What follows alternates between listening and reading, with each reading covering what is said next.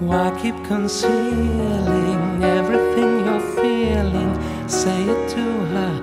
What can you lose? Maybe it's yours. She's had clues which she chose to ignore. Maybe though she knows and just wants to go on as before as a friend, nothing more. So she closes the door. Well, if she does, those are the dues. Once the words are spoken, something may be broken. Still, you love her.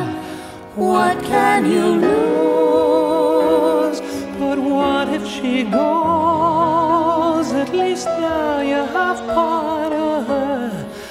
What if she had to choose? Leave it alone. Hold it all in. Better a bone, don't even begin. With so much to too much.